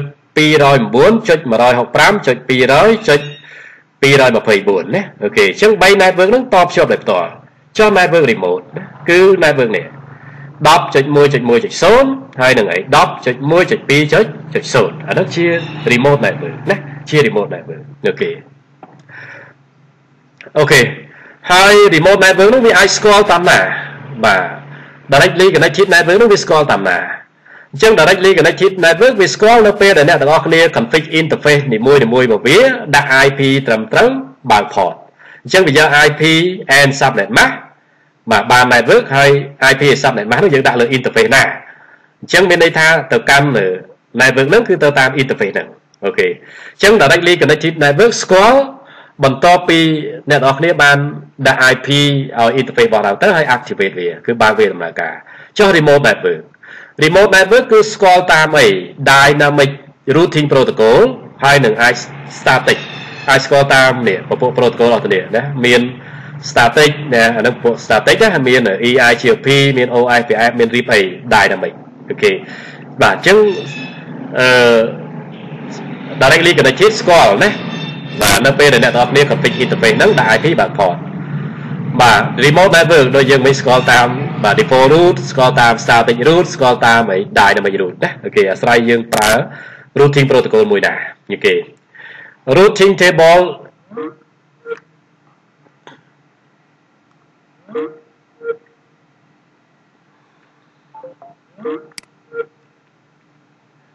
បាទ OK តោះអធិស្ឋានតិចទេរៀងដូច connection បញ្ហាណាអូខេតោះបន្តទៀតណាអូខេ routing table is data file in RAM បាទអញ្ចឹង routing table ជា file ទិន្នន័យមួយផ្ទុកនៅក្នុងអី RAM បាទប្រើប្រាស់ដើម្បីផ្ទុកបាទទិន្នន័យពាក់ព័ន្ធនឹង network មិនថា network តភ្ជាប់ដោយផ្ទាល់ហើយនឹង network ដែលនៅឆ្ងាយទេណាអូខេ routing table contain next hop association for remote network ចឹងក្នុង routing table ហ្នឹងបាទវាមាន next hop បាទត្រូវបញ្ជូនទៅកាន់ router បន្ទាប់បើសិនណា បាទ message ហ្នឹងត្រូវបានបញ្ជូនទៅកាន់អី remote network ណាអូខេ remote network network នៅឆ្ងាយបាទចឹងការភ្ជាប់ហ្នឹងគឺប្រាប់ router ថាតើបាទត្រូវបញ្ជូនទៅកាន់ router បន្ទាប់ហ្នឹងបាទបាទទើបអាចទៅដល់ goal អី goal down អញ្ចឹងអ្នកនរគ្នាអាចពិនិត្យមើល routing table បាទដោយចូលមក privilege execute mode ហើយ show is IP root ណាដើម្បី root មើល routing table អញ្ចឹងអក្សរ C អក្សរ C ពីមុខនេះគឺ directly connected អូខេហើយមានអក្សរផ្សេងពីហ្នឹងឧទាហរណ៍ S ផ្កាយនេះគឺបាទទៅកាន់ remote network អត់ស្គាល់ហ្នឹងគឺទៅតាម static អធិស្ឋាន default root បាទ S static ហើយផ្កាយ candidate default អញ្ចឹង S ផ្កាយគឺ default root ណា default root គឺកំណត់ remote network ទាំងអស់ចាត់ទុកអត់ស្គាល់តាំងដោយ04ដងហើយចេញទៅកាន់ remote network ហ្នឹងតាមណាតាម exit interface ឬតាម IP របស់ router បន្ទាប់បើ IP របស់ router បន្ទាប់ហៅថា next hop address ណាអូខេអូខេយើងបន្តតិចទៀតណាបាទអូខេយើងចូលដល់ routing table source បាទអញ្ចឹងអឺបាទ routing table source បាទនៅលើ router ណាមួយបាទដើម្បីមើល routing table បាទខ្ញុំបានសូបង្ហាញអ្នកទាំងអស់គ្នាហើយគឺ show IP root បាទ show IP root បាទ អានឹងចំពោះ routing table នៃ IP version 4ណាបើ IP version 6វិញ show IPv6 root បាទអញ្ចឹងនៅក្នុង routing table នេះគឺផ្ទុកអីខ្លះអ្នកទាំងអស់គ្នាមើល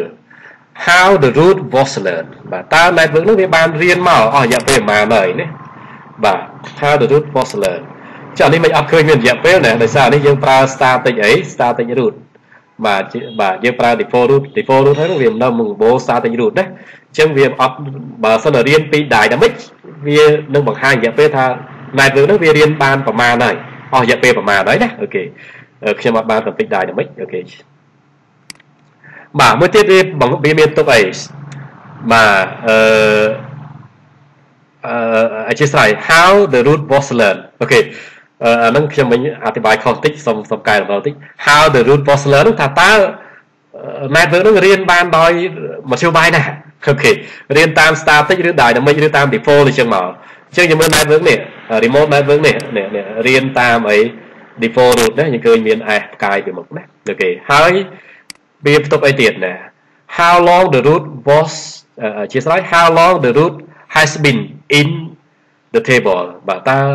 បាទផ្លូវទៅកម្មបាទ network នឹងផ្ទុកនៅក្នុងបាទតារាងនោះអស់រយៈពេលប្រហែលហើយគាត់ថា static root នេះ បាទអត់ default root នេះអ្នកទាំងអស់គ្នាឃើញអត់មានបាទបង្ហាញទេបាទអត់មានបង្ហាញរយៈពេលទេដោយសារយើងអត់បានបាទយើងយើងកំណត់វាបាទបែបណាគឺវាបែបហ្នឹងវាអត់មានរៀនពី router មួយផ្សេងទៀតទេបើពពុះ dynamic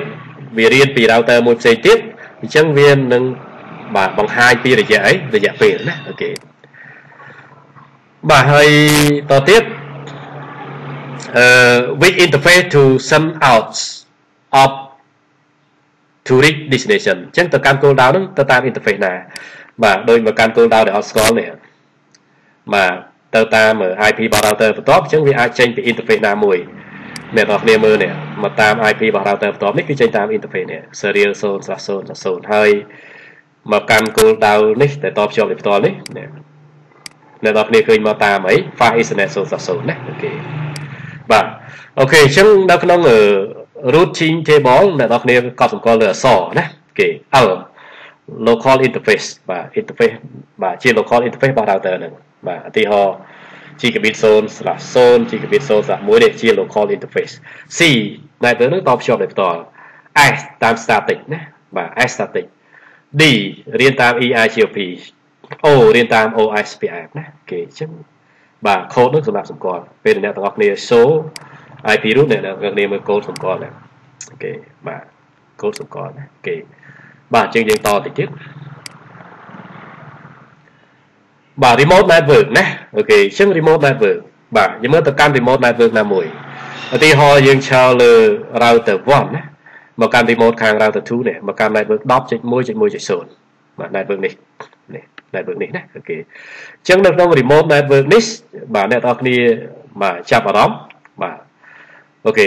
ពាក់ព័ន្ធនឹងទី1 root source how the root was learned បាទតើ remote network ហ្នឹងរៀនបានដោយវិធីណាជាងបើអ្នកទាំងអស់គ្នាឃើញអក្សរ D នៅខាងមុខនេះបាទមានន័យថាទៅកាន់ remote network នោះរៀនបានតាមអី D មិនគឺអី EIGRP រៀនតាម EIGRP បន្ទាប់មក destination network address of destination បាទ address of remote network បាទអញ្ចឹង network cooldown នោះជា address របស់ remote network នេះអ្នកទាំងគ្នានេះមើលឃើញនេះអឺ10.1.1.0ណានេះ network cooldown គេបន្ទាប់មក AD បាទ administrative distance បាទ trust បាទតើតើនឹងកម្រិតទុកចិត្តបាទអញ្ចឹងអ្នកនរគ្នាឃើញនេះ AD បាទ90គឺរបស់ H EIGRP ណាបាទអ្នកនរគ្នាមកមើលនេះ EIGRP បាទអធិស្ឋាននេះ9អី90ណាបាទអញ្ចឹង90បាទអញ្ចឹងនេះនិយាយទៅកាន់ remote network ណាបាទ90អូខេ90អូខេបាទបន្តមកទៀតអ្នកទាំងអស់គ្នាមកមើលលើ matrix បាទ matrix រង្វាស់តម្លៃបាទដែលល្អបំផុតហ្នឹងគ្រាន់តែ EIGRP វាពឹងផ្អែកទៅលើ bandwidth បាទ delay low reliability បាទជាង matrix បាទ value assign គឺជាតម្លៃដែលផ្ដល់បាទ to reach remote network lower meter អញ្ចឹង matrix ទៀតបាទ lower បាទជាផ្លូវល្អចឹងនេះ matrix ពវានេះបាទ matrix ពវា calculate ទៅឃើញប៉ុណ្ណឹងមកកាន់ពី router នេះមកកាន់ remote network នេះអូខេអូខេ next hop បាទទៅតាម router បន្ត IPv4 address of next router to forward packet ជា IP version 4របស់ router បន្ទាប់ដើម្បីបញ្ជូនកញ្ចប់ទិន្នន័យទៅនឹងអញ្ចឹងនេះ IP នេះយើងចូលទៅ router 1 IP នេះជា next hop បាទគឺអីបាទ209.165.200បាទចុច226នេះនេះ221នេះ225ណាអ្នកតើគេនេះ next hop ណា next hop អូខេបាទមួយទៀតអឺបាទពាក់ព័ន្ធនឹង root បាទ time step how much time has passed since the root was learned បាទតើអស់រយៈពេលប្រហែលហើយណាបាទបាទអឺដែលផ្លូវហ្នឹងទៅបានរៀនបាទបាទបាទអស់រយៈពេលប្រហែលហើយអញ្ចឹងនេះជារយៈពេលគេដែលវាបានរៀនបាទផ្លូវទៅកាន់ level ហ្នឹងអស់រយៈពេលប៉ុណ្ណឹងហើយអូខេហើយមួយទៀតអឺ outgoing interface បាទច្រកចេញ exit interface to forward packet out of បាទអញ្ចឹងច្រកចេញនៅត្រូវការបញ្ជូននេះនេះចេញចេញតាមណា យើងចូលលើ router 1មកកាន់ remote network នេះគឺតាម serial 0.0.0អ្នកនរគ្នាឃើញទេអូខេ serial 0.0.0ណាអូខេ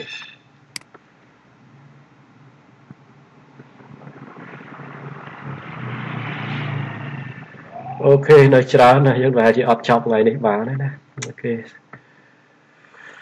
បាទខ្ញុំតែឲ្យចប់ថ្ងៃហ្នឹងតែឥឡូវយើង នៅច្រើនក៏សមដែរអញ្ចឹងមានមួយពេលទៀតបានអាចចប់បានណា OK បាទសារមេរៀនយើងច្រើនហើយខ្ញុំចង់ឲ្យបានលឿនបន្តិចតែមេរៀនដំបូងអញ្ចឹងខ្លាចគ្នាយើង concept នៅខ្សោយអញ្ចឹងពិបាកយល់អញ្ចឹងរៀនលំអិតបន្តិចអញ្ចឹងទៅវាស៊ីពេលច្រើនណាគេស៊ីពេលច្រើនអូខេអញ្ចឹងមានមួយម៉ោងកន្លះទៀតបាទយើងអាចបញ្ចប់អាហ្នឹងណាគេអញ្ចឹងទោះបីខ្ញុំស្រោតមិនក៏ដោយក៏ថ្ងៃនេះអត់ចប់ដែរនៅ សល់ slide ប្រហែលបាទពី45មកដល់54ណានៅច្រើនទៀតដែរហើយសត្វតាជាចំណុចសំខាន់សំខាន់ត្រូវបញ្ជាក់លំអិនបន្តិចដែរណាអូខេបាទចឹងថ្ងៃនេះយើងសម្រាប់ប៉ុណ្្នឹងណាហើយអ្វីដែលក្រងថាឲ្យចប់ហ្នឹងគឺអត់ចប់បាទយើងអាចបន្តមកពេលទៀតបាទអាចចប់ណាអូខេបាទអញ្ចឹងអរគុណច្រើនចំពោះការចូលរួមរបស់អ្នកនរគ្នាហើយមានចម្ងល់អីឡើយណាយើង អាចបាទ alert ជា message មកណាហើយអញ្ចេះណាអឺស្រូតិចផ្ញើព័ត៌មានផ្ទាល់ខ្លួនតាក់ទង email អីដែលខ្ញុំឲ្យយើងផ្ញើឲ្យខ្ញុំហ្នឹងណាបាទផ្ញើឲ្យខ្ញុំហើយមកបន្តិចទៀតខ្ញុំអាចយើងឲ្យហើយណាបាទខ្ញុំអាចយើងចូលខ្លះហើយបាទអញ្ចឹងអ្នកទាំងអស់គ្នាដែលធ្លាប់បាន activate account ប្រើពីមុនហើយបាទពេលដែលខ្ញុំ add ចូលថ្នាក់ទៅយើងយើងនឹងឃើញយើង log ចូល netarchive.com ហ្នឹងមក យើងឃើញថ្នាក់យើងហើយណាគេហើយអ្នកទាំងអស់គ្នាដែលអត់ធ្លាប់ទេយើងបាទចូលទៅ check email បាទតិចទៀតខ្ញុំ add យើងចូលថ្នាក់ចូលទៅ check email នឹងឃើញខាង Cisco ផ្ញើ email មួយយើងហើយយើង click លើ link ហ្នឹងទៅយើងធ្វើតាមការណែនាំដើម្បី activate account យើងបាទអញ្ចឹងមិនយើងអាចបាទប្រើប្រាស់ account ហ្នឹង log ចូលក្នុង net archive បានហើយយើងប្រឡងអីតាម net archive ហ្នឹងណាបាទហើយជាសប្តាហ៍ក្រោយខ្ញុំនឹង activate ឲ្យយើងចាប់ដើម ប្រឡងតាម chapter នីមួយៗបដាបដាណាដើម្បីយើងតនពេលវេលាយើងណាអូខេដោយសារពេលវេលាយើងចេះទៅមុខណាOK អញ្ចឹងសម្រាប់ថ្ងៃហ្នឹងយើងប៉ុណ្ណឹងណាអរគុណច្រើនចំពោះការចូលរួមហើយយើងបាទជួបគ្នាដូចជាសប្តាហ៍ក្រោយណា OK